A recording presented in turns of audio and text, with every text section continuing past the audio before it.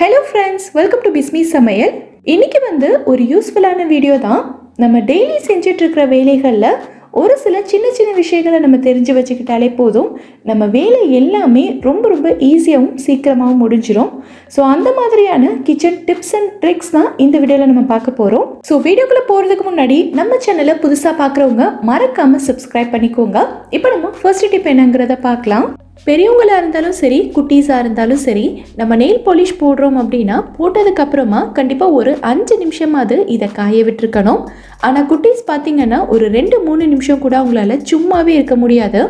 ட்ரெஸ்ஸுலையோ இல்லை மற்ற பொருட்கள் எடுக்கிறேன்னு சொல்லிட்டு வீட்டில் அங்கங்கே வந்து இதை ஃபுல்லாக ஒட்டி வச்சிருவாங்க.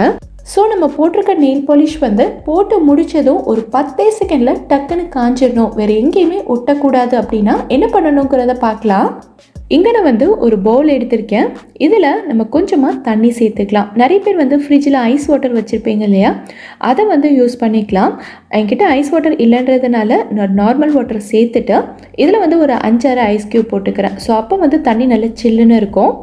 ஸோ நெயில் பாலிஷ் போட்டுட்டு உடனேவே நம்ம வந்து கையை ஐஸ் வாட்டரில் வச்சிட்டோம் அப்படின்னா இது வந்து சீக்கிரமாகவே காஞ்சிரும். அதாவது நெயில் பாலிஷ் வந்து நமக்கு லிக்விட் டைப்பில் இருக்கும் இல்லையா? ஐஸ் வாட்டரில் கை வைக்கும்போது நல்லா ஹார்ட் ஆயிரும். குட்டீஸ்க்கு மட்டும் இல்லை பெரியவங்க நீங்கள் நெயில் பாலிஷ் போட்டுட்டு இருந்தால் கூட யாராவது இது வேணும் அது வேணும்னு எடுத்து கேட்டாங்கன்னா கொஞ்சம் கூட யோசிக்கவே வேண்டாம். இந்த ட்ரிக் உங்களுக்கு சூப்பராக ஒர்க் அவுட் ஆகும் ஸோ கண்டிப்பாக ட்ரை பண்ணி பாருங்கள் இப்போ நம்ம அடுத்த டிப் என்னங்கிறத பார்க்கலாம். இங்கே நான் வந்து பூண்டு தோல் தான் எடுத்திருக்கேன். என்னடா இவங்க குப்பையில் போட வேண்டிய தோல் எல்லாத்தையும் இப்படி எடுத்து வச்சுருக்காங்களேன்னு யோசிக்காதீங்க. இந்த பூண்டு தோலில் நமக்கு நிறைய மெடிசினல் பெனிஃபிட்ஸ் இருக்குது அதில் இருக்க ஒன்று ரெண்டு விஷயங்களை தான் நான் உங்கள் கூட ஷேர் பண்ண போகிறேன் நம்ம பல்கான குவான்டிட்டியில் இஞ்சி பூண்டு பேஸ்ட் எல்லாம் அரைப்போம் இல்லையா? அப்போ வந்து உரிக்கிற தோல் எல்லாத்தையுமே நான் இந்த மாதிரி கலெக்ட் பண்ணி வச்சுருக்கேன். ஸோ பூண்டு உரிக்கும் போது இந்த தோலில் லைட்டாக பிசு பிசுப்பு தன்மை இருக்கும் இல்லையா? அதெல்லாம் போகிற மாதிரி நம்ம வந்து காய வச்சு எடுத்துக்கலாம். வெயிலில் வச்சு காய வைக்கணுங்கிற அவசியம் கிடையாது. நிழல்லையே நீங்கள் வந்து உலர்த்திக்கலாம். இந்த மாதிரி ஒரு துணியில் நம்ம எடுத்து வச்சுருக்க பூண்டு தோல் எல்லாத்தையும் போட்டுட்டு ஒரு மூட்டை மாதிரி கட்டிக்கலாம். சின்ன துணியாக எடுத்தீங்கன்னா இந்த மாதிரி கட்ட வராது. ஸோ நீங்கள் வந்து தனியாக ஏதாவது ஒரு கயிறு வச்சு கட்டிக்கோங்க.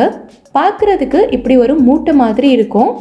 அடுத்து ஒரு பேனை லைட்டாக சூடு பண்ணிவிட்டு இந்த மூட்டையை அதில் வச்சு லைட்டாக சூடு பண்ணிக்கலாம். இதை வந்து எதுக்கெல்லாம் யூஸ் பண்ணலான்றத சொல்கிறேன் கை கால் வலி அதாவது ஜாயிண்ட் பெயின்ஸ் மூட்டு வலியெல்லாம் இருக்கும் இல்லையா? ஸோ அவங்களுக்கு வந்து இது சூப்பரான ரிலீஃப் கொடுக்கும். எந்த இடத்துல உங்களுக்கு வலி இருக்கோ அந்த இடத்துல நீங்கள் இதை லைட்டாக ஒத்தி ஒத்தி எடுத்தாலே போதும்.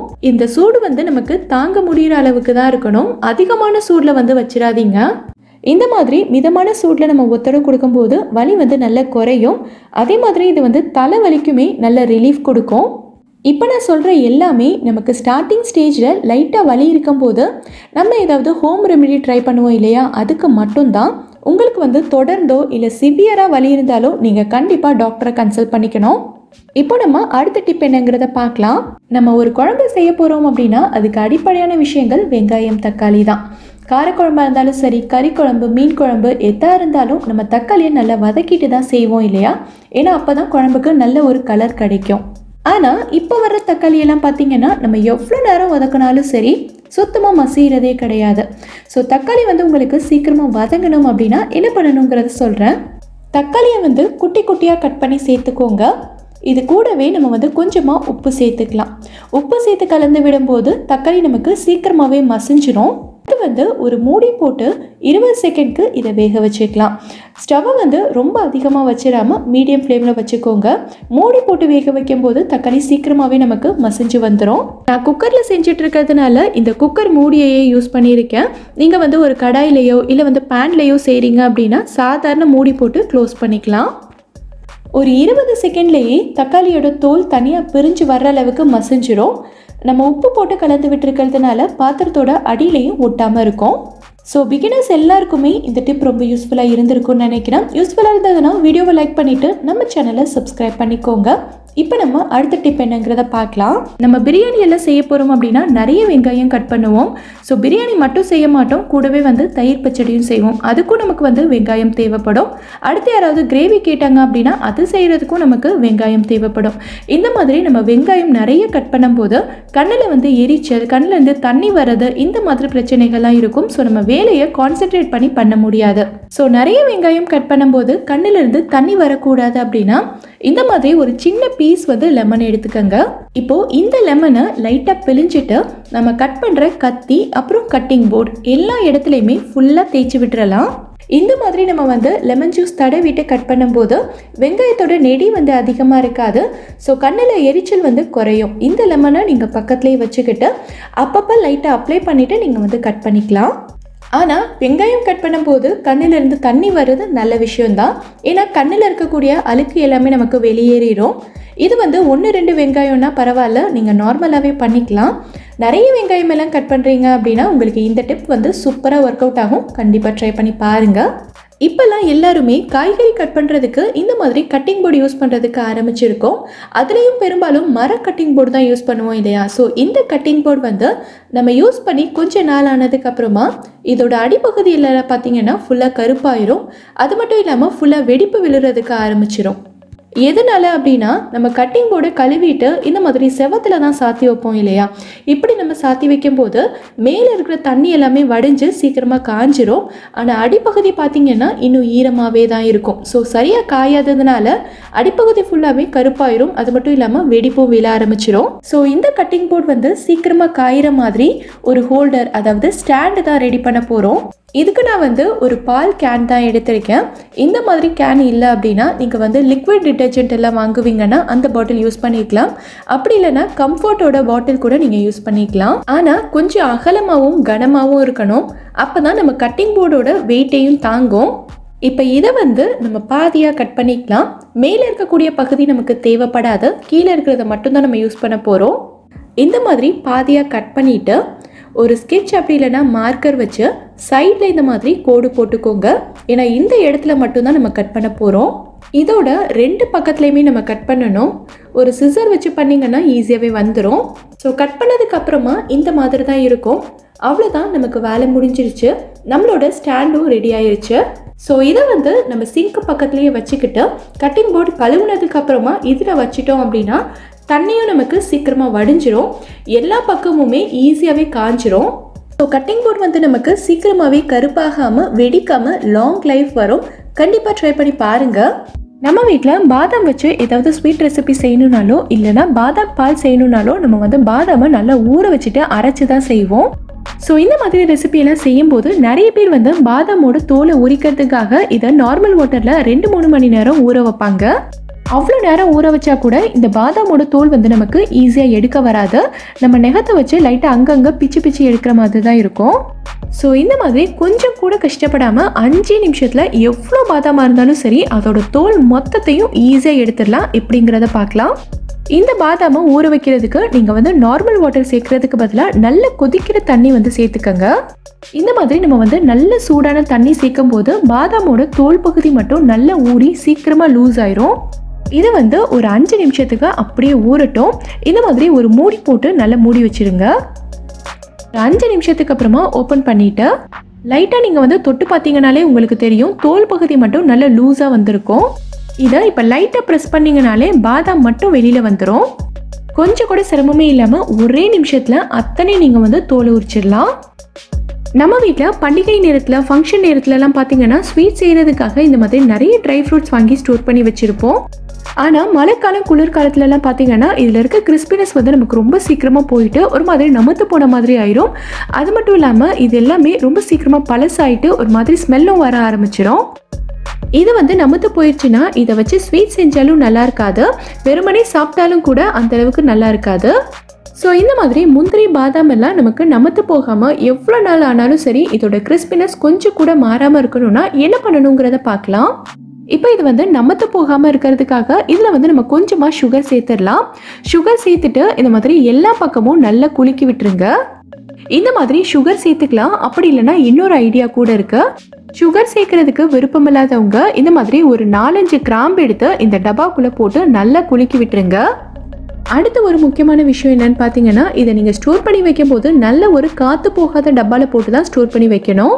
ஸோ இந்த மாதிரி நம்ம ஸ்டோர் பண்ணி வைக்கும்போது எவ்வளோ நாளானாலும் சரி இதோட கிறிஸ்பினஸ் வந்து நமக்கு கொஞ்சம் கூட குறையவே குறையாது.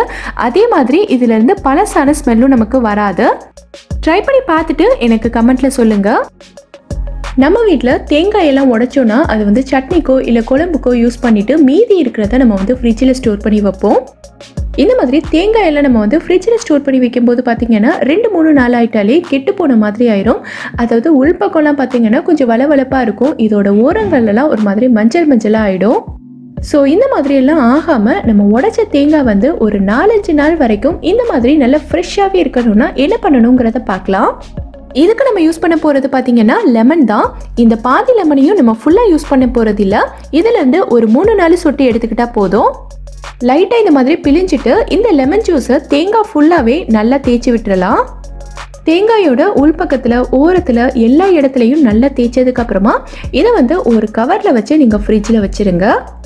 இந்த மாதிரி செய்யும்போது தேங்காய் வந்து நமக்கு சீக்கிரமாக கெட்டு போகாது. ரொம்ப நாளைக்கு ஃப்ரெஷ்ஷாகவே இருக்கும். ட்ரை பண்ணி பாருங்கள் இப்போ அடுத்த டிப் என்னங்கிறத பார்க்கலாம். நம்ம வீட்டில் சப்பாத்திக்கெல்லாம் மாவு பிசைஞ்சோன்னா நம்ம சப்பாத்தி சுட்டது போக மீதி இருக்கிற மாவை ஒரு டப்பாவில் போட்டு ஃப்ரிட்ஜில் வைப்போம். இந்த மாவை நம்ம மறுநாளோ இல்லை ரெண்டு நாள் கழிச்சோ ஃப்ரிட்ஜில் இருந்து எடுத்து பார்த்தோன்னா அந்த மாவோட வெளியில் இருக்கிற லேயர் எல்லாமே ஒரு மாதிரி கலர் மாறி போயிடும் அது மட்டும் இல்லாமல் மேலே இருக்கிற லேயர் பார்த்தீங்கன்னா நல்லா காஞ்சு போய் ஹார்டாக இருக்கும். இந்த ஹார்டாக இருக்கிற மாவில் நம்ம சப்பாத்தியை தேய்க்கிறதும் கஷ்டம். சப்பாத்தி சுட்டாலும் அந்த அளவுக்கு நல்லாவும் இருக்காது. ஸோ நம்ம ஃப்ரிட்ஜில் ஸ்டோர் பண்ணி வைக்கிற மாவு ஒரு மூணு நாலு நாளைக்காவது நல்லா ஃப்ரெஷ்ஷாக கொஞ்சம் கூட கலர் மாறாமல் இருக்கணும்னா என்ன பண்ணணுங்கிறத பார்க்கலாம். நீங்கள் ஃப்ரிட்ஜில் ஸ்டோர் பண்ணி வைக்க போகிற மாவில் கொஞ்சமாக எண்ணெய் சேர்த்து இதோட மேல் பகுதி எல்லாமே நல்லா அப்ளை பண்ணி விட்டுருங்க. இந்த மாதிரி நம்ம எண்ணெய் தடவி வைக்கும்போது மாவோட மேல் பகுதி வந்து காஞ்சி போகாமல் கொஞ்சம் கூட கலர் மாறாமல் இருக்கும்.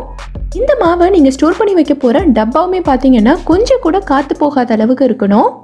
மாவை டப்பாவுக்குள்ளே வச்சுட்டு கொஞ்சம் கூட கேப்பே இல்லாத மாதிரி நல்லா அழுத்தி விட்டுருங்க.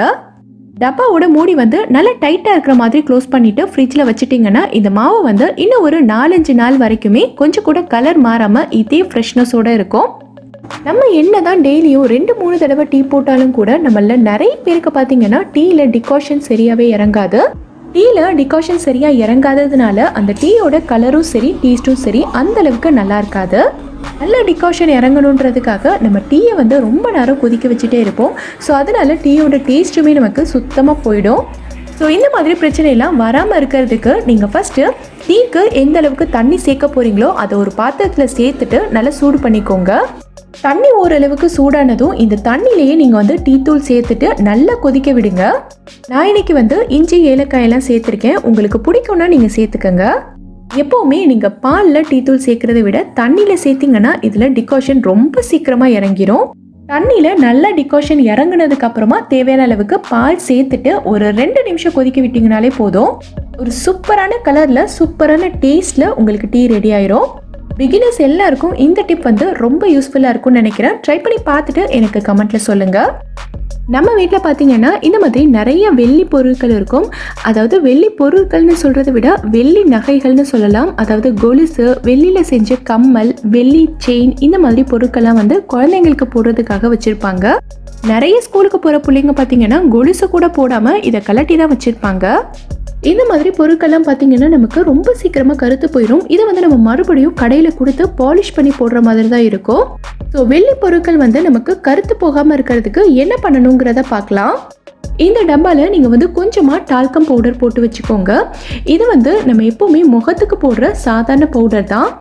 இதை வந்து கொஞ்சமாக டப்பாவில் கொட்டிட்டு இந்த பவுடர் வந்து கொலுசை ஃபுல்லாகவே நல்லா கோட்டாகிற அளவுக்கு நல்லா குலுக்கி விட்டுருங்க.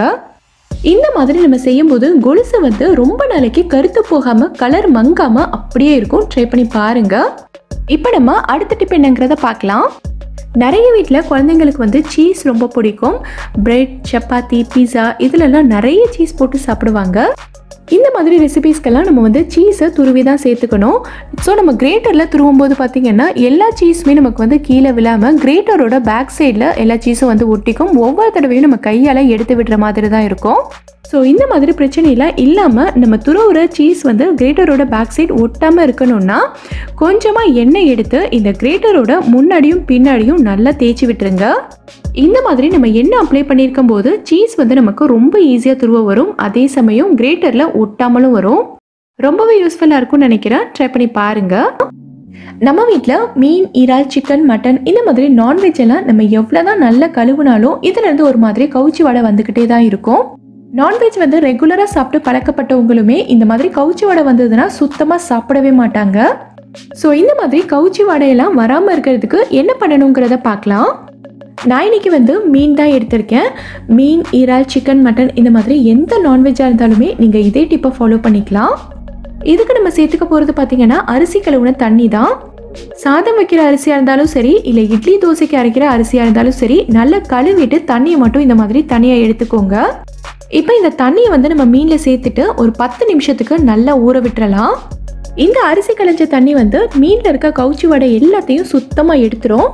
பத்து நிமிஷத்துக்கு அப்புறமா தண்ணியில இருந்து மீன் எல்லாத்தையும் தனியாக எடுத்துட்டு இதை வந்து நீங்கள் எப்பவும் போல் குழம்போ இல்லை வறுவலோ செஞ்சுக்கலாம். ரொம்பவே யூஸ்ஃபுல்லாக இருக்கும்னு நினைக்கிறேன். ட்ரை பண்ணி பாருங்கள் இந்த வீடியோவில் நான் சொல்லியிருக்க எல்லா டிப்ஸுமே உங்களுக்கு ரொம்பவே யூஸ்ஃபுல்லாக இருக்கும்னு நினைக்கிறேன். எந்த டிப் உங்களுக்கு ரொம்ப யூஸ்ஃபுல்லாக இருந்ததுங்கிறத கீழே இருக்க கமெண்ட்ல எனக்கு சொல்லுங்கள் இந்த வீடியோ பிடிச்சிருந்தா லைக் பண்ணுங்க. உங்கள் ஃப்ரெண்ட்ஸ் உங்கள் ஃபேமிலி மெம்பர்ஸ் கூட இந்த வீடியோவை ஷேர் பண்ணுங்க. மறக்காம நம்ம பிஸ்மி சமையலுக்கு சப்ஸ்கிரைப் பண்ணிட்டு பக்கத்தில் இருக்கக்கூடிய பெல் ஐக்கானையும் கிளிக் பண்ணி அதில் ஆல் ஆப்ஷனையும் செலக்ட் பண்ணுங்க. Thank you